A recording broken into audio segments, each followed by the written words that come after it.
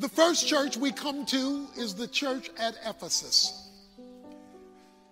To appreciate and understand Ephesus, all you have to do is understand New York. Ephesus was the New York of Asia Minor, now known as Turkey. Ephesus was the center of commerce, of culture, of civic uh, focus, of fashion. If you wanted to go on vacation, Ephesus was the place to go. It was a tourist city. It was well known throughout Asia as the place to go. It was like a Wall Street. It, it, it dealt in significant financial matters because of its strategic location. It was also known for idolatry. The church at Ephesus, where you get the book of Ephesians out of, that's the book written to the church at Ephesus. The story of the church's beginning, feel free to read it sometime, is Acts chapter 19 of how, in the midst of sorcery and witchcraft and economics, people got saved and the church was established. And it is expressed to us in Acts 19 about the energy, excitement, and challenges that face this brand new church. But here in the book of Revelation, he is not writing because all is well. He is writing because of a situation that needed to be addressed for people who wanted to be overcomers, as I hope that we do. He makes it clear in the first verse that this was written for the angel of that house, that is God's messenger. The word angel from the Greek word angelos means messenger. That the messenger, the pastor, if you will, was to proclaim this message to the congregation at Ephesus Bible Fellowship.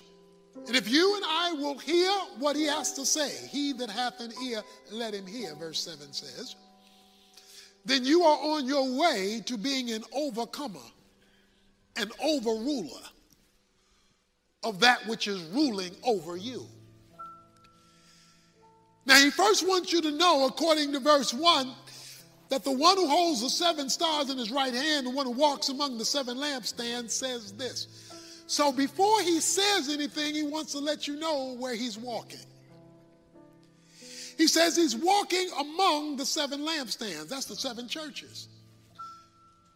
So, right now, as we gather in our congregational meeting today, there is an unseen visitor.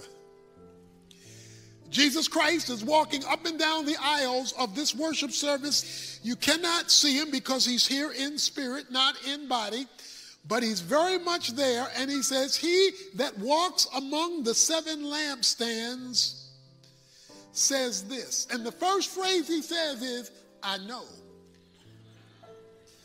So he wants you to know as he passes by your pew, I know you, and I know you. I am well aware of what your ministry has to offer. You are a serving church.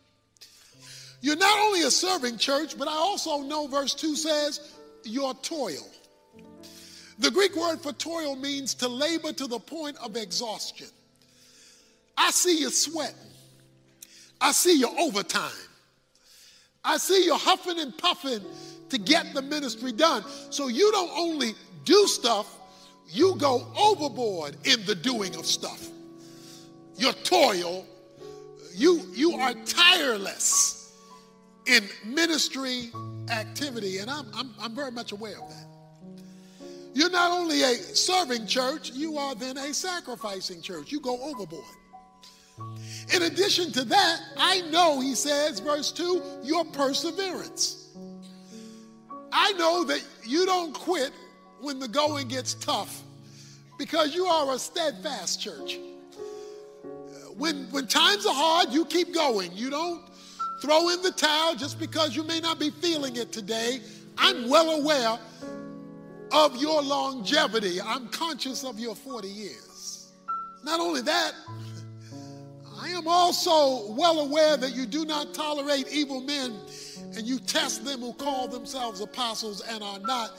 You are a separated church. That is, you are orthodox in theology and doctrine. You test things to see whether they are consistent or inconsistent with the Bible. You are a Bible teaching, Bible believing, Bible quoting, Bible toting church. You're serving, you're sacrificing, you're steadfast, you're separated, you're suffering. You are, a model congregation, and I know it. But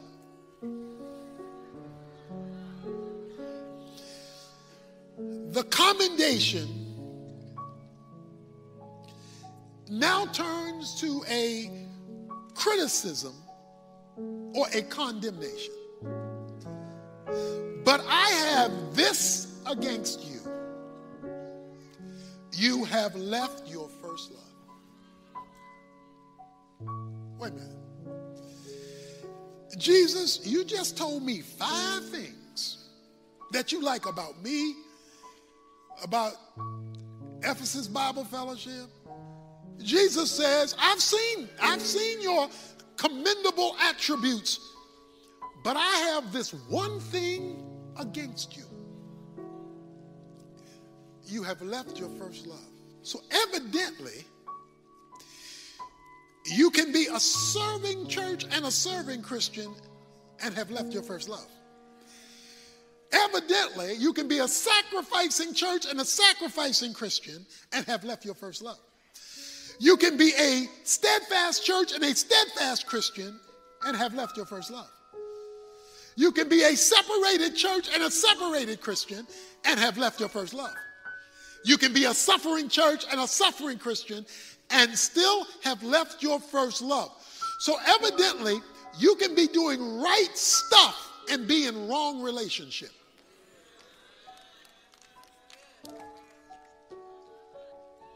To love God is to passionately pursue God's pleasure. To love God is to passionately pursue God's pleasure.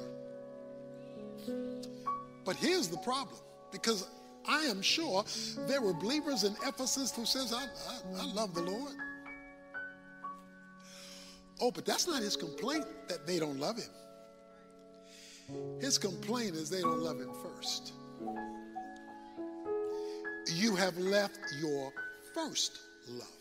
You may still love me, but you no longer love me first. Let me explain something about God that um, we all need to grab. We need to get this one. There are certain things God can't do. So let's get this straight. We got this thing, God can do anything. Well, not quite. Certain things he just can't do. God can't lie, the Bible says. By two immutable things, it's impossible for God to lie. So he can't lie. God can't sin. Uh, God can't act contrary to his nature, for then he would no longer be immutable, the unchanging God.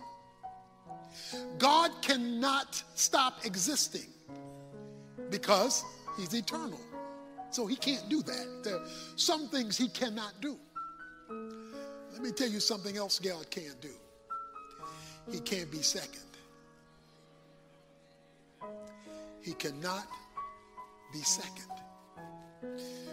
Whenever God is made second to anything, even if they are good things, it's unacceptable.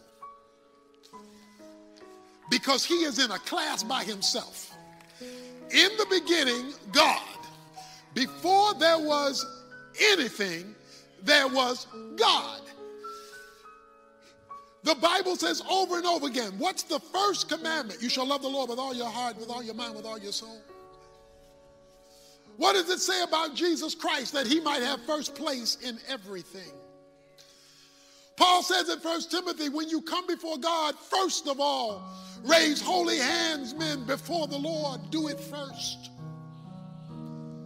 When it comes to giving, God says, give to the Lord the first fruits of what he's given you all through the Bible, this thing of first, first, first, first, first.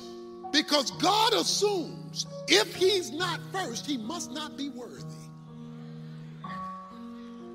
God demands to be first in our affection, in our attention, in our priority. He demands to be first because that's what he is. And when he is no longer first and has been repositioned with something or someone in place of him, you've just created an idol because you've made something else first. And whatever is first becomes your God. So now God has competition in your life. He's not saying you don't love me, he's saying you don't love me first. That I am not your priority and I don't know how to be second.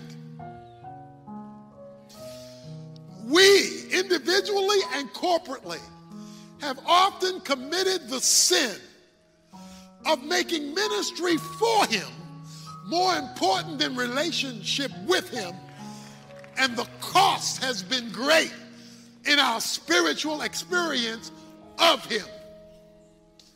He says you've left your first love. You've compromised religion for relationship. And you've left me. And you know the bad part about it? We've left him and don't even know we've gone. What does it look like when you leave your first love? It means that you have to find time for Him when you have time for other things. The reason why we have to find time for God is because we don't want that time. So we got to fit it in when nothing else is competing with it. That's because He's not first love. He's when I get around to your love. When I get around to you, I'll spend some time in prayer. When I get around to you, I'll spend some time in your word, just meditating on you. When I get around to it, I'll spend some time just giving thanks for what you've already done and not just asking you for what I want you to do. I'm going to do it because you are first. And that mean, may mean I have to get up a little earlier for you to be first with my day. So, what do we do about this? And why will it matter? Verse 5 tells you what to do three things. He says, Remember from where you have fallen. The three R's. The first one, he says, I want you to remember. Remember. Remember how it was, Oak Cliff, when you didn't have all these buildings and all these programs and all these members. And remember back there when you were just in a house and you had to depend on me for everything. You, you go back to that time when you didn't have to manage all this and have all this, and all you had was me. You, you remember that. You remember, Saint, when you first got saved, you didn't know anything but John 3:16 and you just knew one little hymn, you couldn't, you couldn't wave your hand in the air like you just don't care. You didn't have all of that. All you knew was your sins were forgiven. You were on your way to heaven because you had come to Jesus Christ. You didn't have much. You, you, all you had was me. You better remember. Remember where you came from. Because you ain't always been up here. You haven't always been on Camp Wisdom. You haven't always been doing this. You weren't always blessed like you are now. He says, remember. Remember when I'm the one that mattered most. Second hour, he says, repent. Okay? There's only one thing you repent of in the Bible, and that's sin. It's the only thing you're ever called to repent of, and that's sin. So guess what? Leaving your first love is sin. It's not just a bad habit, it's not just a mistake. When the relationship becomes secondary to the program, you're living in sin. I'm living in sin. we collectively are living in sin when the relationship is secondary to the program. He's not just calling it, oh, my, I got to get my priorities together. No, you got to get your sin fixed. Because he says, repent. You only repent of sin. So he doesn't review this just as a scheduling issue, he views it as a sin issue. That I am no longer the priority in your life. You have programmed me to be second. And all the programs are wonderful. He says, You must repent. You must turn. You must turn John 14, 21 is a powerful verse. He says, if you, if you love me, you will keep my commandments. And to the one who loves me, watch this, I will disclose myself to him. Whoa. I will talk to him. I will show him or her. Mm. I will reveal myself. The reason why we're not hearing from God, the reason why we're not getting guidance from God, the reason why we're not experiencing victory from God is because he doesn't feel free to disclose himself to somebody who's going to treat him second.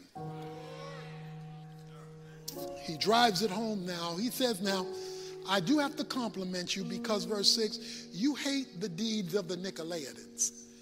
The Nicolaitans were professing Christians who were abusing grace.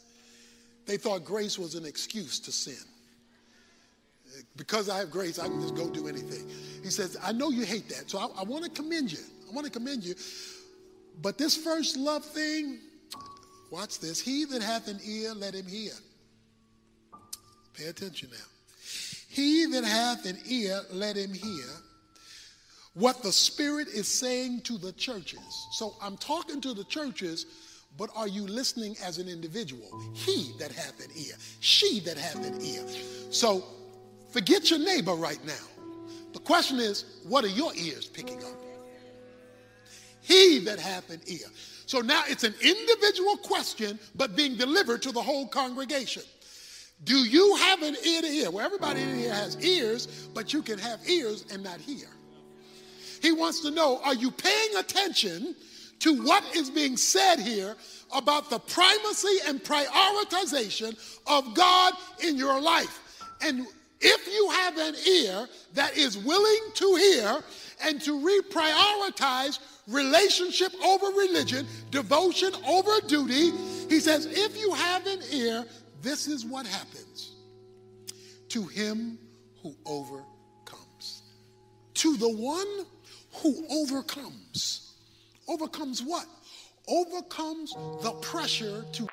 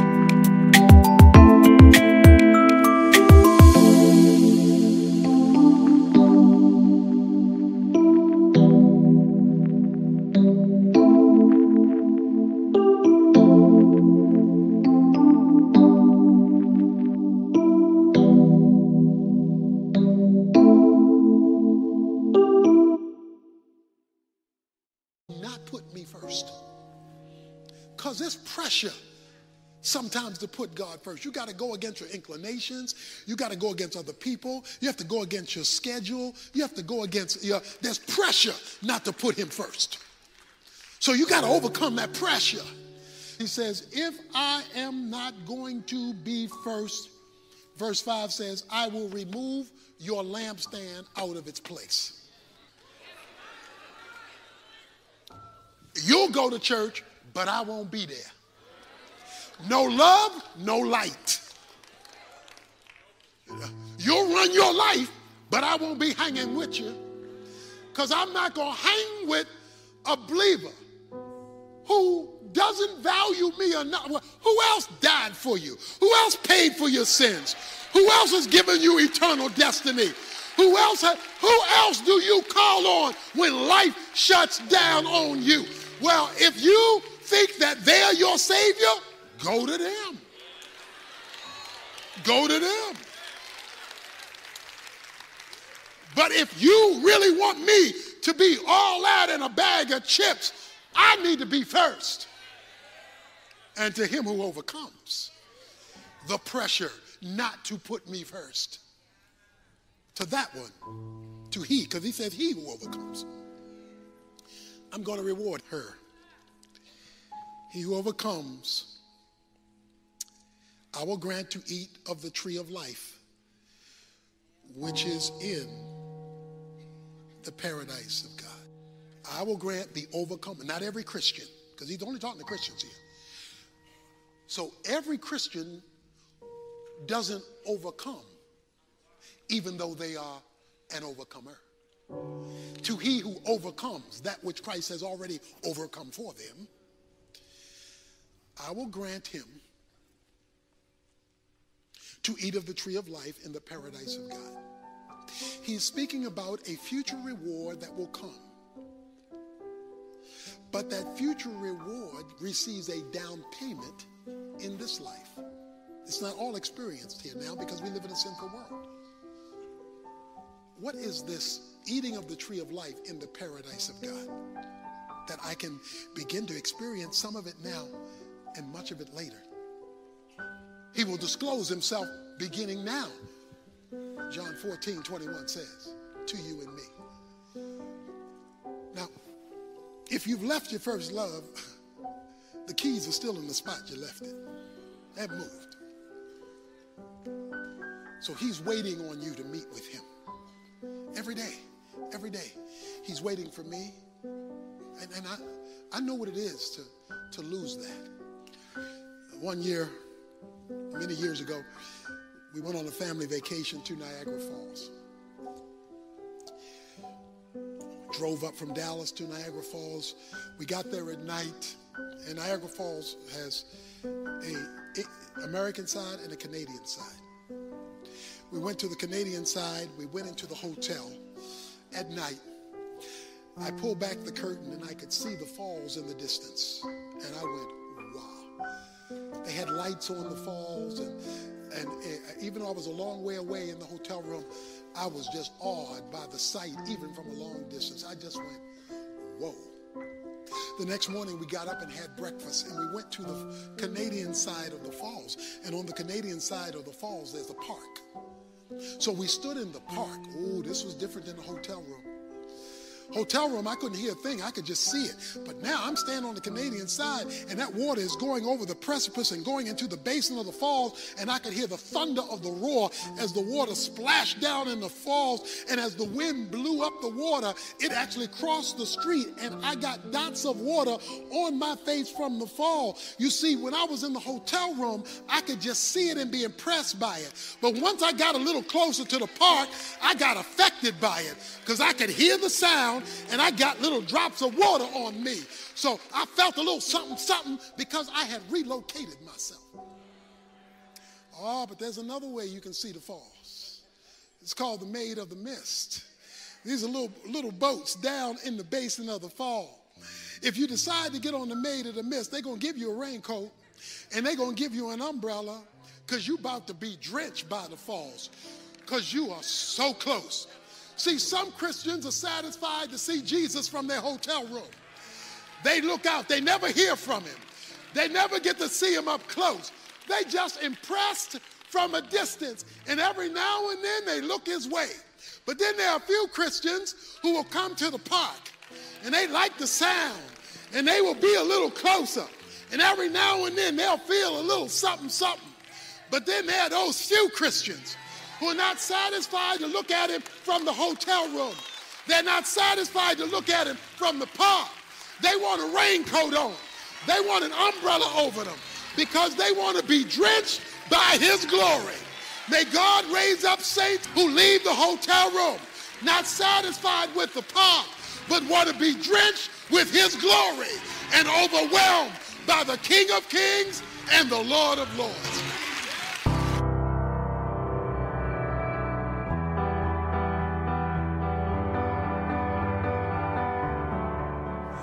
Did you know that some things God can't do? Oh, yeah. Some things God can't do. I know that may sound a little crazy, but think about it. The Bible says God cannot sin. He can't do that. The Bible says by two immutable things, it's impossible for God to lie. He can't do that. The Bible speaks about the fact that God exists in simplicity because he's spirit. So he can't be divided. Can't do that. Let me tell you something else God can't do. He can't be second. he cannot be number two. Whenever you put God in second place, third place, fourth place, fifth place, or no place, then what you ask him to be a part of is something he cannot do. That's why there's so much in the Bible about idolatry, because you've you've put some something or someone next to him. He can't do that. And when you understand that God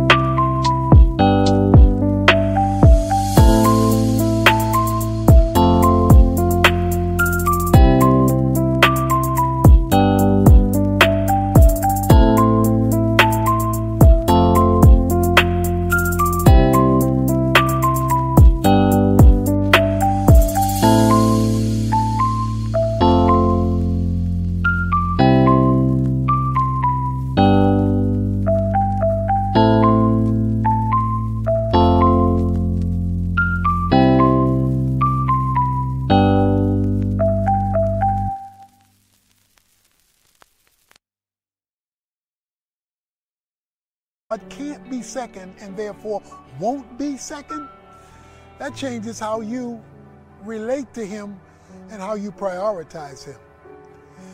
Did you know there's some things God can't do? And one of them is He can't be number two. You and I must learn what it means to have God in first place. And you can be doing a lot of good things and He still not be first. Because He wants to be first relationally more than anything else. And when you prioritize making Him first in the relationship, you have set in motion how the rest of your life can be operated in an orderly fashion.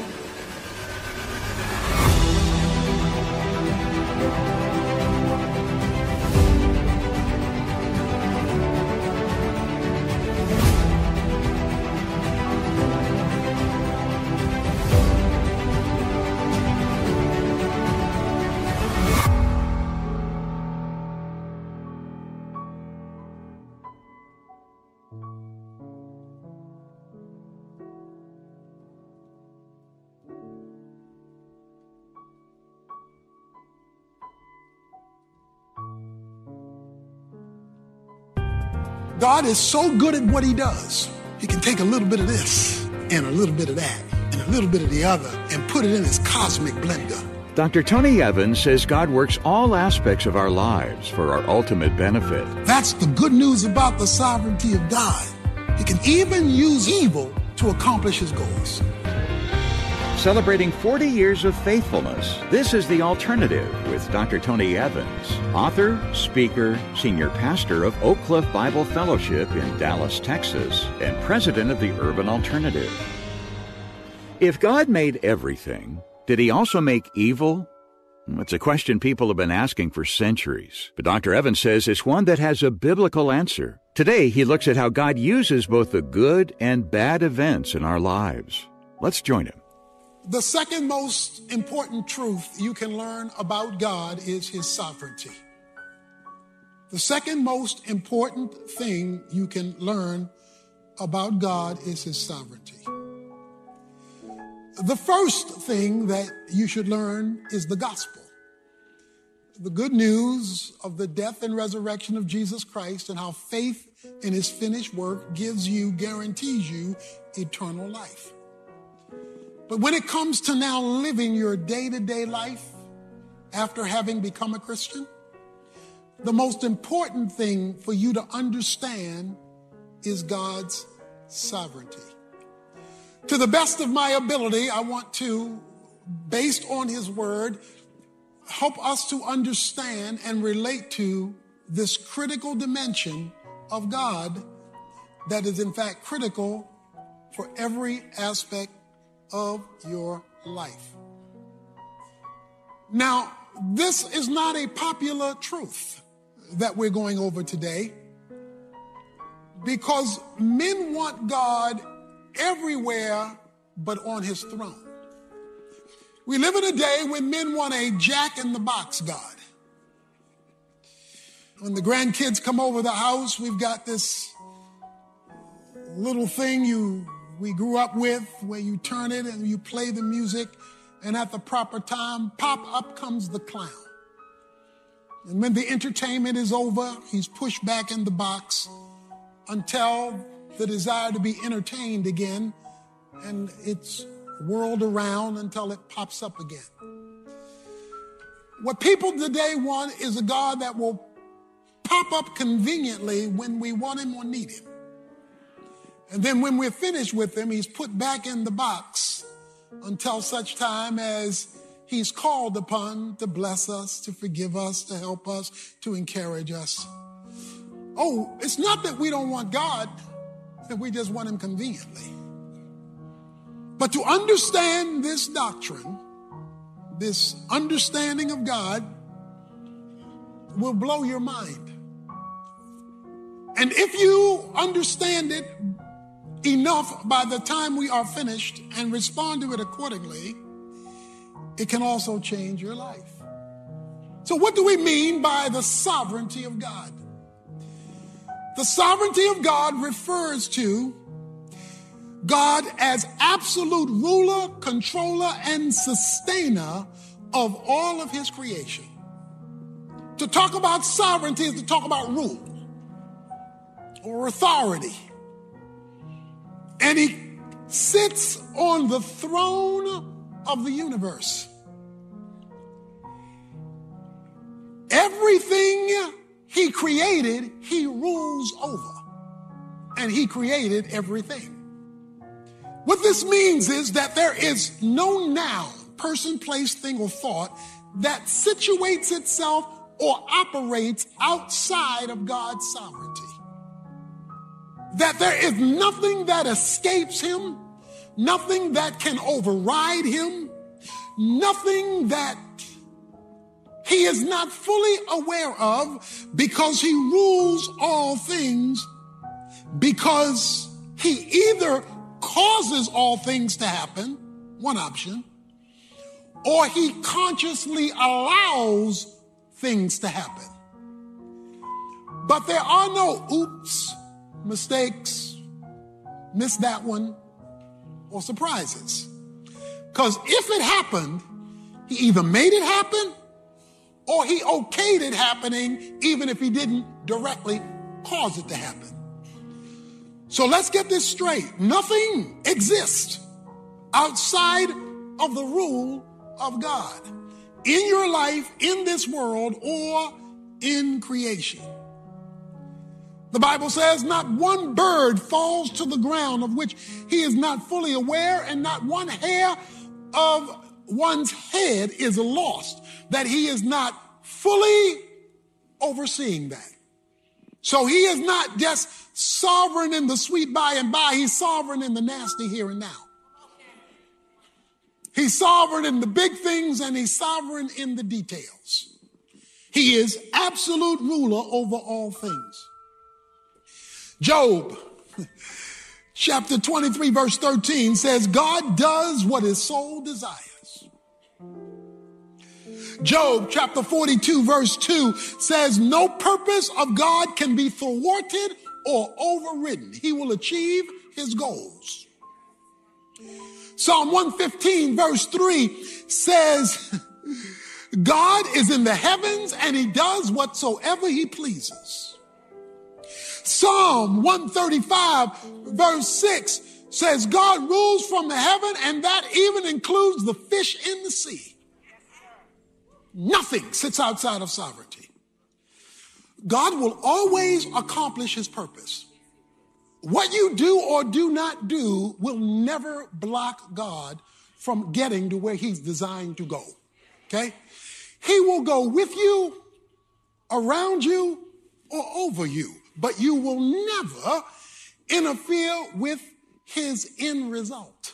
God will always accomplish his purposes because God never limits himself to one route. This church is 11 miles from downtown Dallas. There is a preferred route to go to downtown Dallas, a direct line, 35 North. You get on 35 North, it will take you directly to downtown Dallas. That is the preferred route, that is the quickest route. But sometimes 35 North gets blocked with an accident, gets blocked with construction, and the route is no longer the convenient way to go. Well, because of Google Maps and other technology, you're not limited to 35. They will show you other options. If you know it, there are more than one options than your preferred route. God would prefer to accomplish his plan with your cooperation. That, that's what he would prefer. Because if he can accomplish it with your cooperation, everybody wins. But if you don't cooperate, don't think you were his only option. He's got multiple ways of accomplishing his goal. He can do it with you or without you. He can go around you or run over you. But no human being will thwart God's ultimate plan. You are his preferred route, never his only route. And so when you understand that God's sovereignty does not negate your choice, it includes freedom to choose. You are free to choose. God didn't stop Adam and he's not going to stop you. He'll give you indicators, but, but he will let you choose because he made you with that, within certain limitations and boundaries. But you need to know when you choose against him, you have opened up the door for the manifestation of another attribute. Because God exists for his glory, and the glory is the manifestation of his characteristics, perfections, or attributes. God is so good at what he does. He is so good at what he does, he even uses evil to accomplish his goals. So even when folk are evil, he says, I can do something with that. Isn't this what Joseph said in Genesis 50, verses 19 to 21? You meant it for evil, but God meant it for good to bring me to this place. Guess how God got me here? God got me here by you boys getting jealous. God got me here by you selling me into slavery. God got me here by you accusing me of rape. God got me here by forgetting me in jail. God got me here from Pharaoh having a bad dream. And God didn't use all that mess to bring me to this place. And see, that's the good news about the sovereignty of God. He can take a little bit of this and a little bit of that and a little bit of the other and put it in his cosmic blender. By itself, it may not look like much. You take the flour by itself, it ain't much. You take the sugar by itself, it ain't much. You take the, the different ingredients of a cake by themselves, it's not much. But bake it right. And all those independent elements are joined together to accomplish something. That's why Romans 8 28, all things work together for good to them who love God and are the called according to his purpose. He says, I prefer 35. Cooperate with me. He's so good at what he does as sovereign, he even uses the devil to help him out. That's as bad as you can get, that's as low as you can go. Because the devil is not the devil, the devil is his devil.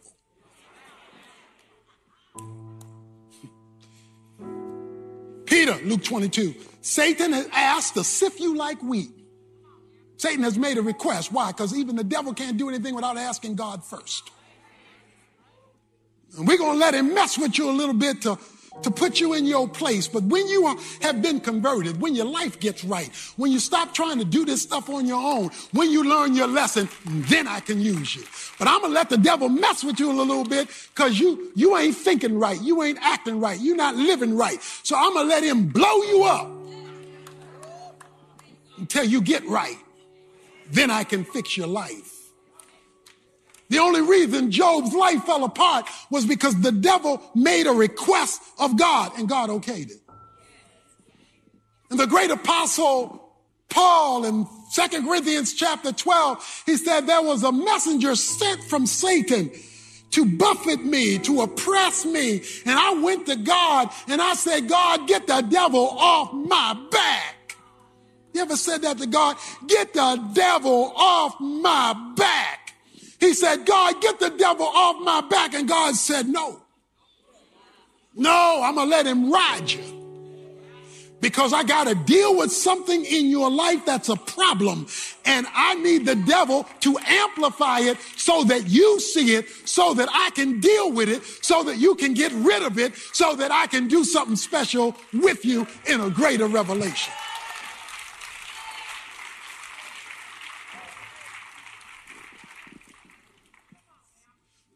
God is sovereign and he rules. Within boundary, he allows choices. And according to Lamentations chapter 3, verse 37 and 38, he rules both the good and the evil. Dr. Evans will come back to explain what that means for us when he continues our lesson in just a moment. But first, I want to tell you about Prayers for Knowing God. It's Tony's latest book, and it's designed to help you develop a healthy and ongoing communication with God, leading you to experience greater grace and peace. And if you visit tonyevans.org today and make a contribution, we'll send you the Prayers for Knowing God book, as well as all 12 full length lessons from Tony's current teaching series, God's Heart Revealed. These two resources are designed to help you appreciate God's motives, desires, and will for your life, leading you to move closer to Him. And today's the last day you can get them bundled together as our way of saying thanks for your support of Tony's ministry. Get all the details and make your request online at tonyevans.org or call us at 1 800 800 3222. I'll repeat that information for you after part two of today's message and this. Throughout any woman's life, you'll hold many roles, and so often it can feel like you're just plotting to get through. We know that this can feel like obscurity and mundane tasks, but whatever God has called you to do, plant yourself there because you got a harvest coming back to you if you do. Carrying the legacy of Lois Evans, daughters Chrystal Hurst and Priscilla Shirer encourage you to not just survive the season you're in, but thrive there with the new 4 DVD Bible study, Seasons of a Woman's Life. With your generous gift to the Urban Alternative, receive the classic book, workbook, and DVD series now. He rules both the good and the evil. Okay, now you understand sovereignty, you got a little handle on it. What does this mean? The first thing it means is that you change your vocabulary. First thing it means is you change your vocabulary and you X out the word luck. You cannot have sovereignty and luck. I know how we use it casually. We use it for everything. We got lucky dog. We got wish me luck. We got plain luck. We got luck be a lady. We got lady luck. We got tough luck, good luck, blind luck, bad luck, rotten luck, and then pot luck. We got luck for everything.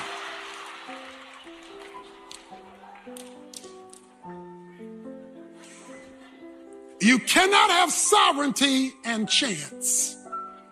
You cannot have sovereignty and fate. You cannot have sovereignty and happenstance. You cannot have sovereignty and accidents.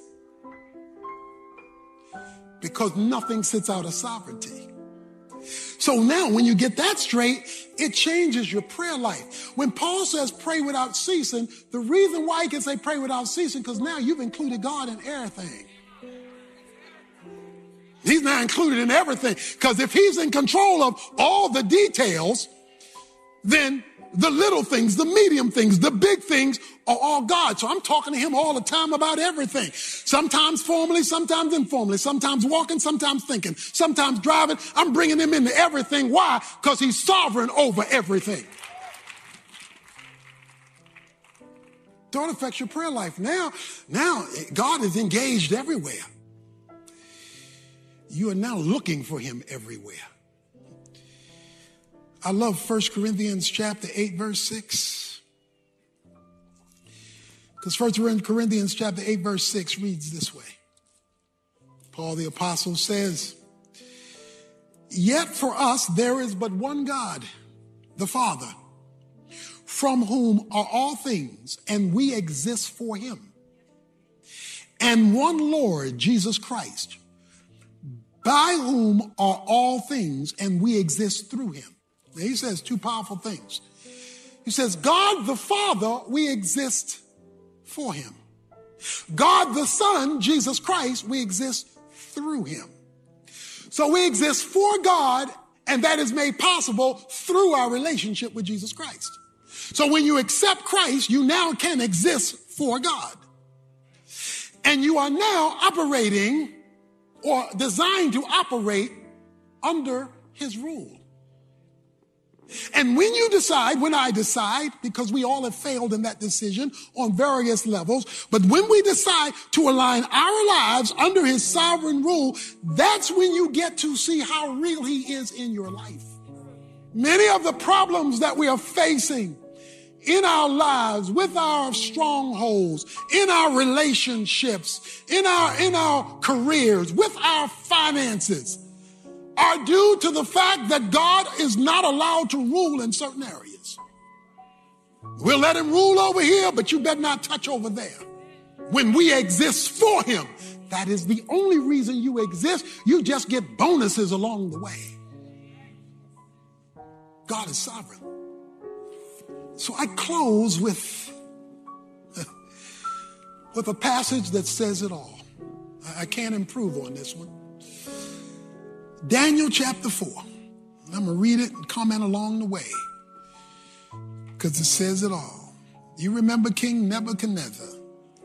I'll call him Nebi for short. Verse 28 of Daniel 4. All this happened to Nebuchadnezzar the king. Twelve months later, he was walking on the roof of the royal palace of Babylon.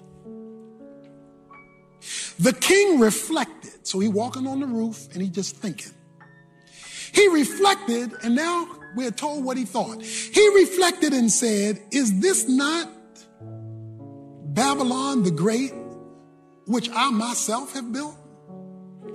As a royal residence by the might of my power and for the glory of my majesty. So he's walking on the roof, smelling himself. Says, Is this not the great Babylon that I have built? You the man.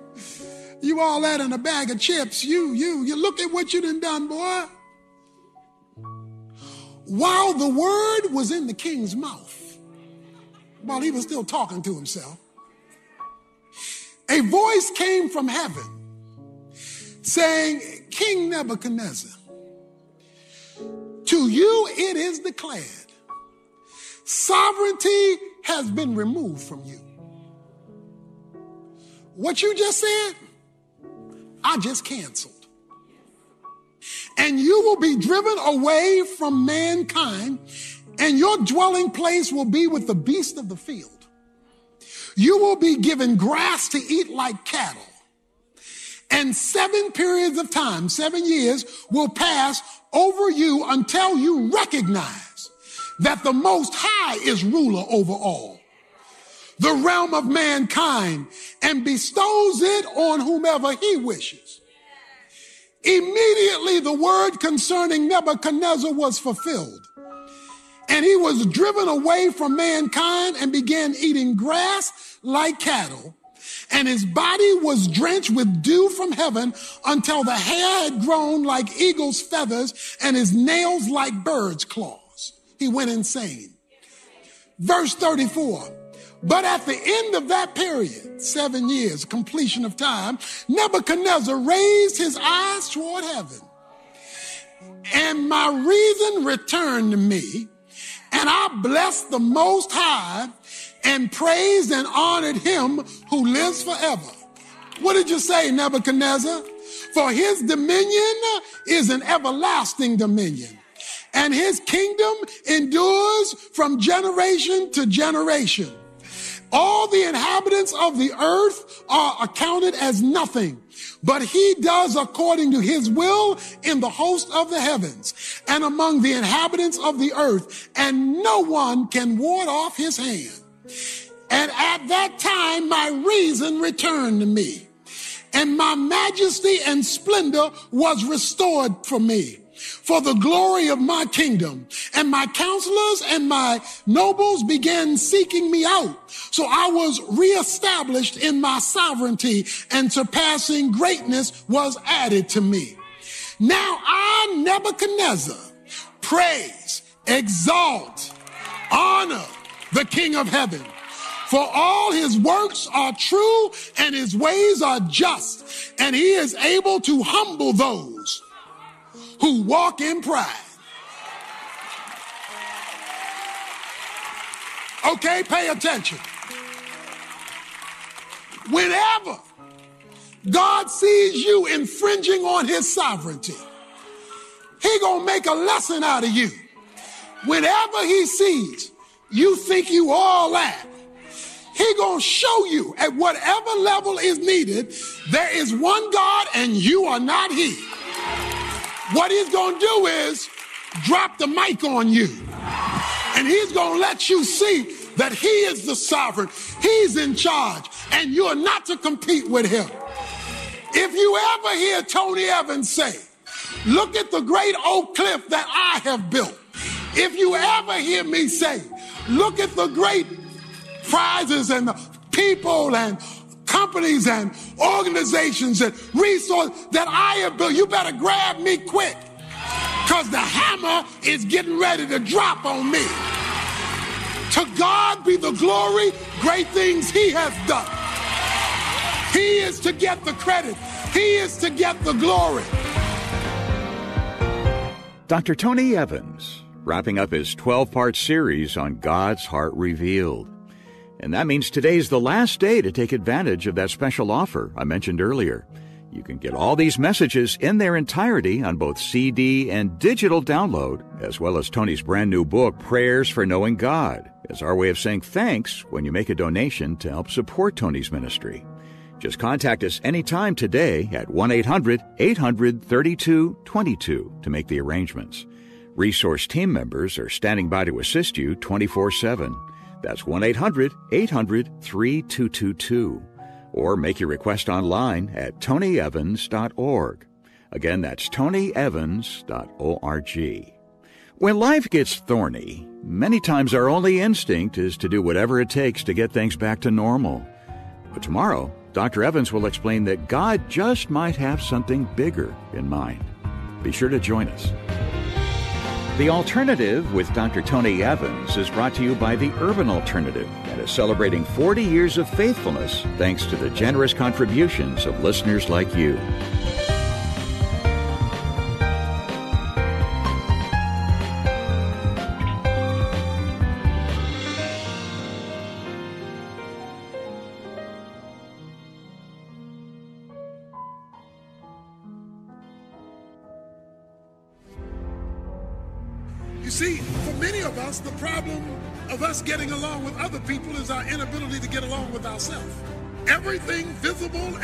Physical is preceded by something invisible and spiritual.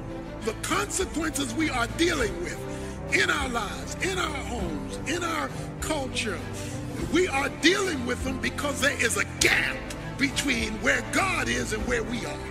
He wants to know that you want Him and not just want His stuff. See, a lot of folk go to church to get God's stuff, but who don't want the God who gives it. So if you're in distress, don't let that drive you away, draw you near. When you get close and want to live for Him, want to please Him, want to honor Him, want to exalt Him, want to draw near to Him, then heaven opens up and He lets you find Him. He lets you find Him.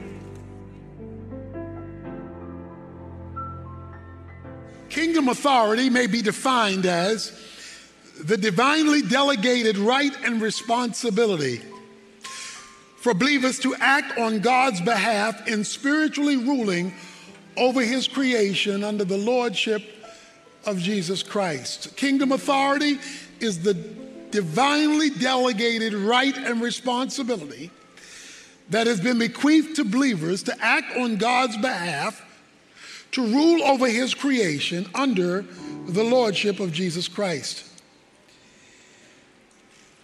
With God's kingdom comes authority.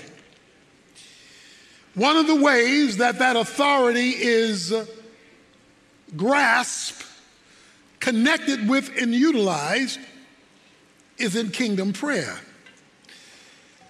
Kingdom prayer is divinely authorized access for heaven to invade earth, for heavenly intervention into historical circumstances. And one of the expressions that talks about authority is binding and loosing. Now, if you've grown up in church, you've heard people talk about binding this and binding that. And what they're talking about is exercising authority. And that is precisely what the phrase means. But I want to take you deeper into the meaning of the phrase, the utilization and understanding of how to apply the phrase so that you and I get the benefit of the phrase and start binding and loosing like we're supposed to. The word binding and loosing is not a magic formula for you to get God to do what you want. Yet it is a powerful formula because of what's stated. Because verse 18 says, whatever you bind. And it goes on to say, and whatever you loose. First of all, whatever. This scope of this statement is staggering. In other words, he doesn't give an exception. He says, whatever you bind, whatever you loose, it says heaven is going to back it up, or to put it in contemporary words, God says, I got you. I got you. Please notice something in the phrase. You are the one doing the binding, not God. You are the one doing the loosing, not God. Whatever you bind and whatever you loose will have been done in heaven.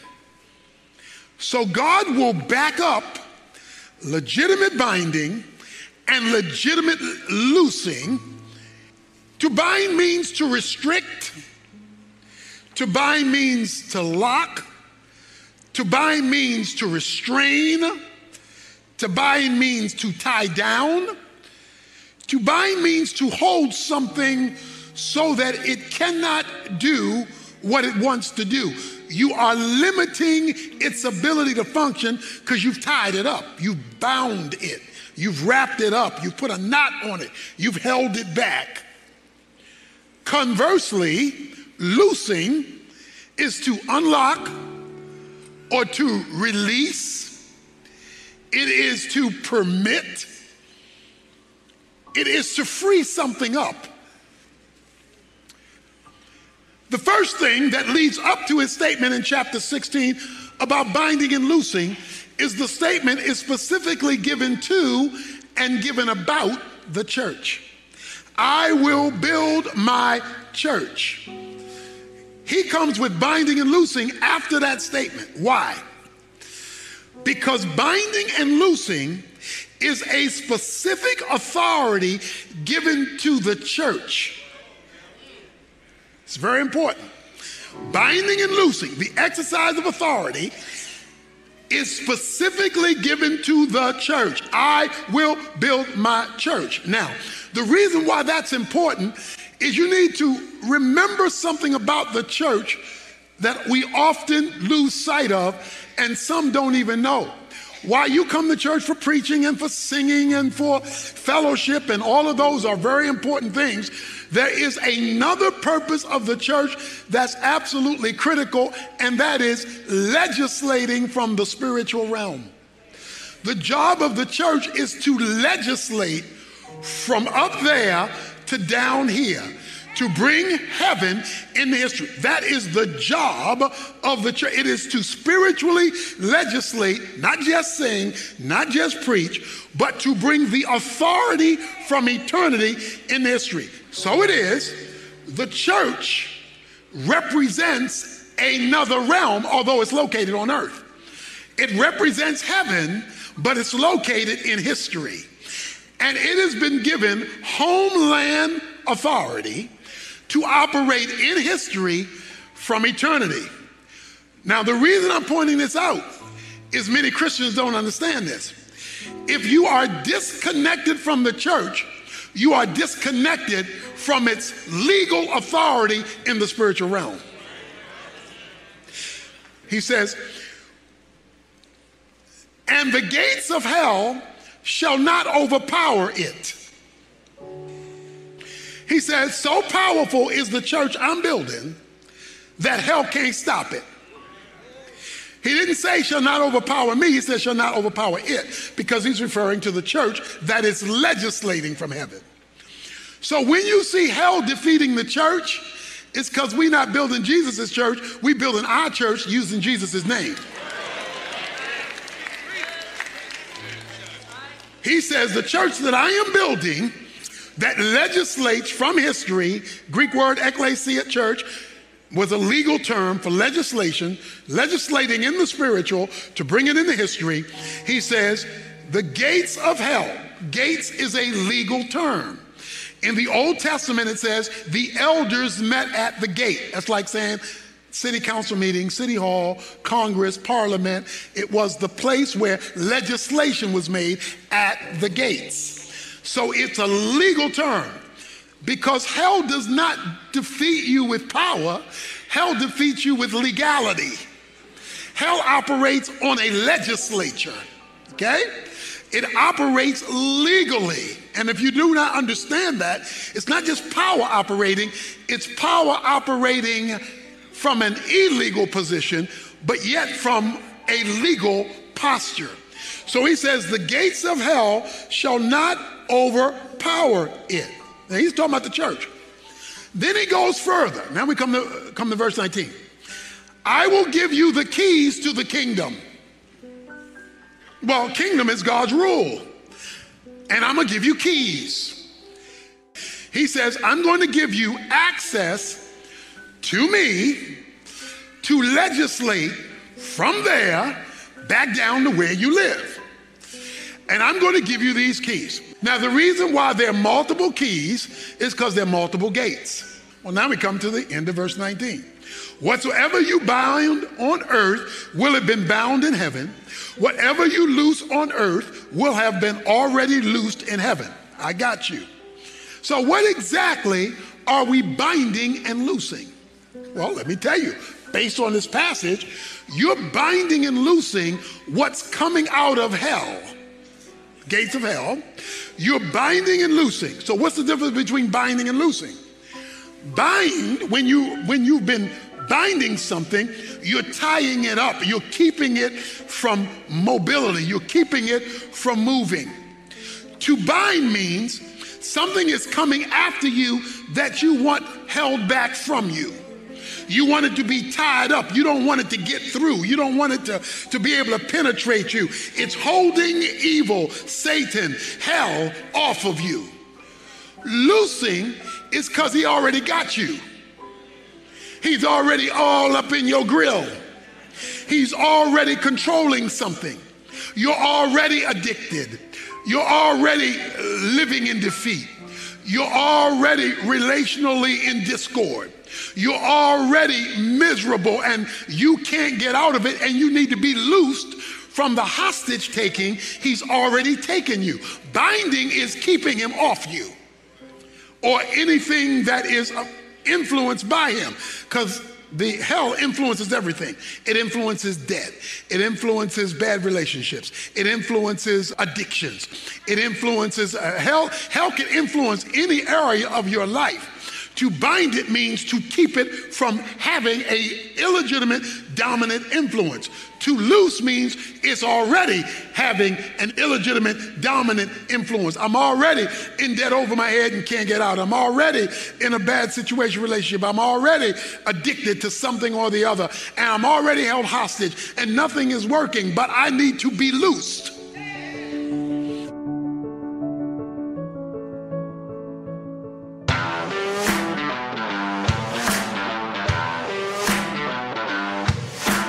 Studied the Bible in college for four years. I studied the Bible for four years working on my master's degree, another four years working on my doctoral degree. And then I've been preaching all of these years, and I'm still learning new things from this awesome, inexhaustible book, the Word of God. That's why I'm so excited about the Tony Evans Study Bible and its accompanying work, the Tony Evans Bible Commentary. It will take all of this training and this teaching and make it available to you to understand, utilize, and apply God's most powerful word.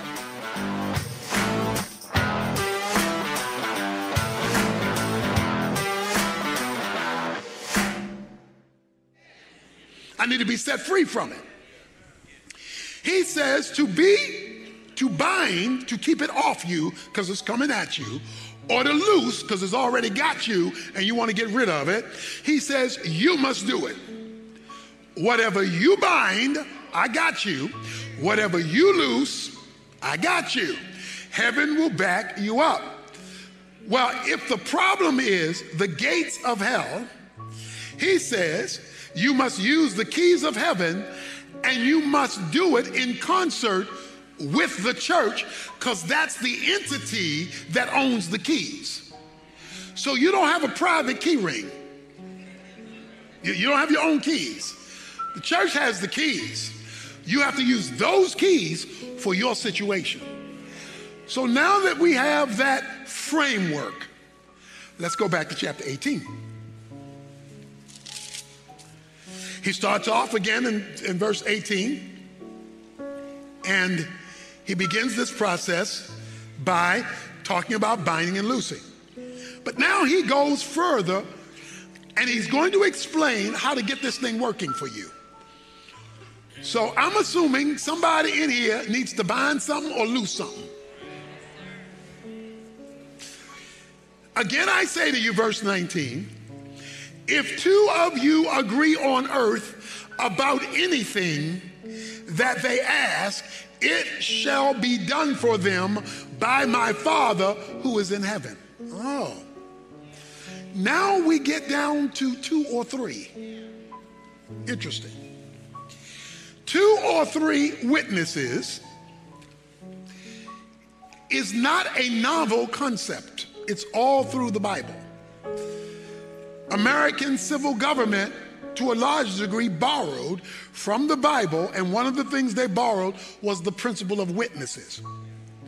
In Deuteronomy 19, verse 15, it says, You cannot accuse somebody by the witness of one person, there must be two or three witnesses. Deuteronomy chapter 17, verse 6, you cannot bring an accusation or judgment by one person. There must be two or three witnesses. So, two or three witnesses was used of uh, confirming something legally because it's used of trying civil cases. Jesus takes the principle of legality, two and three witnesses, and applies it now to binding and loosing. Why? Because we are seeking to do in the spiritual realm what the political realm was seeking to do in civil judgments. To do that, he says you need two or three witnesses. Now, this is not just two or three people out of nowhere, because in verse 17 he says, Tell it to the church. If he refuses to listen to the church, let him be to you as a Gentile and a tax collector. So he hasn't left the church. He's still talking about the church because that is the authorized legal entity from heaven to history. So let me explain something. When you connect with people, even if they're Christians, who are not connected to the embassy, they can't help you with binding and loosing. Because binding and loosing has only been delegated to the church, not just to you out here just binding stuff and I bind the devil and you know, no, no, no. If you are disconnected from the embassy, that's why people don't just need to go to church for preaching.